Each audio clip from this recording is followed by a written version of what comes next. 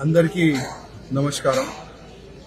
ఒక ముఖ్యమైన విషయం మీకు చెప్దా చెప్దామని అనుకుంటున్నాను.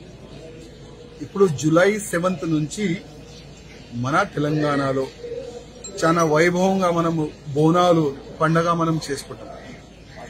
దాదాపు ప్రతి ఇంట్లో అమ్మవారికి మనము నైవేద్య రూపంలో గొర్రెలు మనము ఎక్కిస్తాం. సమర్పిస్తాం.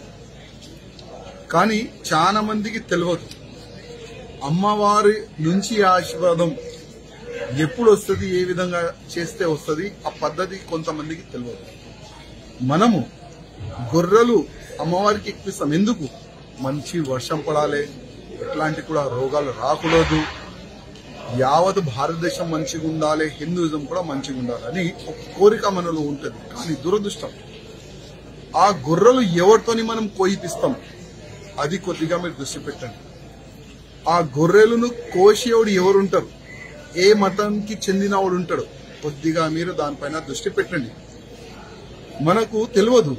కానీ ఆ గొర్రె కోసే ముందు ఆయన ఒక స్లోగన్ని ఆయన ఆయన మనసులో చెప్పుకుంటారు ఆయన ఆ స్లోగన్ ఏం తెలుసా? ఒక్క నిమిషం. బిస్మిల్లాహు అల్లాహు అక్బర్. ఆయన మనసులో చెప్పుకొని ఆ గొర్రెని కోస్తాడు. అంటే ఏం తెలుసా అది? ఈ గొర్రెని అల్లానే నీకు ఎక్కిస్తున్నాను అని ఆ మంత్రం చదువుకొని అయినా గొర్రెని కోస్తాడు. అంటే ఆ గొర్రెలు ఎవరికి ఇప్పించిండైనా? ఆయన దేవుడికి. కానీ మనము మన అమ్మవారికి ఎంగిలు మనం ఎక్కిస్తామా? ఎంగిలు మనం తింటామా? ఒక్కసారి ఆలోచన చెయ్యండి. అందుకోసం ఈ బోనాల పండగలో ఎట్టి పరిస్థితిలో హిందూతోనే మన కటిక సమాజం ఉంది.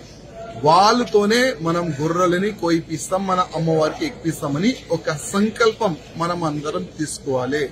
ఎందుకంటే మనం ఒక మంచి మనసుతోని అమ్మవారికి మనం పూజ చేస్తాం. కానీ అట్లాంటి మంచి సందర్భంలో ఎట్లాంటి కూడా ఇబ్బంది రాకుండా మనం కొద్ది జాగ్రత్తగా పడాలని నేను ప్రతి ఒక్క హిందూకి కోరుతున్నాను. అదేవిధంగా తెలంగాణ గవర్నమెంట్ ప్రత్యేకంగా ముఖ్యమంత్రి గారికి ఒక నివేదిక. మా హిందూ పండగలకి మంచి జరగాలని మీరు ట్వంటీ ఫైవ్ కరోడ్ రూపీస్ కూడా రిలీజ్ చేస్తారు. అదేవిధంగా ఈ బోనాల పండగంలో కడికి కటిక సమాజ్తోని మాట్లాడి హిందువులతోనే ఆ గొర్రెలు కోయిపోయానికి అట్లాంటి కూడా మీరు వ్యవస్థ చేస్తే చాలా బాగుంటది. ఎందుకంటే మేము వేరేలు ఏదైనా అంటే వేరే సమాజములు వేరే ధర్మములు ఏదైనా ఫెస్టివల్లో మేము ఇన్వాల్వ్ కాము. అందుకోసం మా ఫెస్టివల్లో కూడా ప్రత్యేకంగా ముస్లిమ్స్ ఇన్వాల్వ్ కాకుండా చూడాలని నేను ముఖ్యమంత్రి గారికి కోరుతున్నాను.